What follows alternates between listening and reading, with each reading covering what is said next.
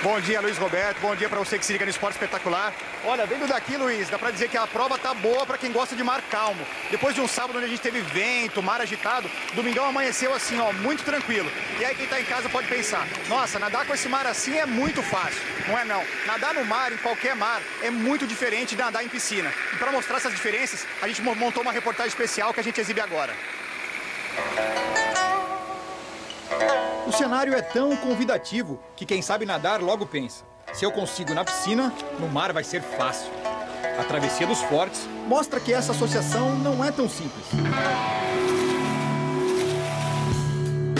A princípio, nadar no mar até parece mais tranquilo, já que o corpo flutua melhor. Na prática, isso não se reflete. O desgaste é maior também no mar em função da água salgada. A água salgada desidrata mais rápido. A principal dificuldade é a orientação.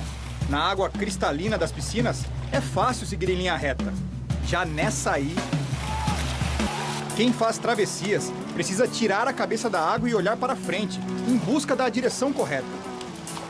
Nesse movimento do pescoço, o quadril acaba afundando e as pernas e os braços precisam fazer mais força. Você tem que estar, tá, vamos supor, com 75 braçadas por minuto, ao ao invés de estar com 64, 60 braçadas por minuto, que seria um nado mais alongado. Você tem que ser um motorzinho. Outra diferença importante é que no mar os atletas nadam juntos, sem aquela demarcação de espaços que existe na piscina. Os mais espertos até conseguem encontrar uma vantagem nisso. Sempre que o nadador fica assim, coladinho nos pés de um rival, ele consegue poupar energia. Basicamente, quem está ali atrás economiza 11% de oxigênio, diminui em 6% os batimentos cardíacos e reduz em 38% o cansaço muscular. Por tudo isso, quem chega ao final dos 3.500 metros não é um nadador qualquer.